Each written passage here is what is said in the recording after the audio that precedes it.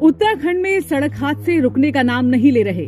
ताज़ा मामला हल्द्वानी का है, जहाँ काठगोदाम थाना क्षेत्र अंतर्गत रानीबाग एचएमटी फैक्ट्री के पास एक सड़क हादसे में सेना के जवान की मौत हो गई। वहीं उसका साथी गंभीर रूप से घायल हो गया।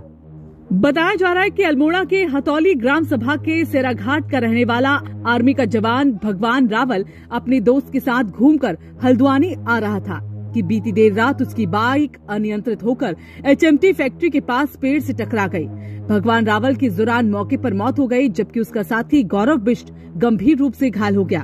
वहीं जानकारी मिलने के बाद मौके पर पहुँची 108 की मदद से घायल को निजी अस्पताल में भर्ती कराया गया, जहाँ उसकी हालत गंभीर बनी हुई है। बता दें कि हादसे में बाइक पूरी तरह से क्षतिग्रस्त हो गई। वहीं इस हादसे की जानकारी परिजनों को दे दी गई और परिजन हल्द्वानी पहुँचे, जहाँ शव को कब्जे में लेकर पोस्टमार्टम के लिए भेज दिया गया। बता दें कि भगवान सिंह रावल सेना में आरआर जम्मू कश्मीर में तैनात था। वहाँ का कार्यकाल पूरा होने के बाद उसकी तैनाती राजस्थान में हुई थी। नई तैनाती पर जाने से पहले भगवान सिंह एक महीने की छुट्टी पर घर आया था और इसी दौरान ये हादसा हो गया। Bureau report, रायशुमारी।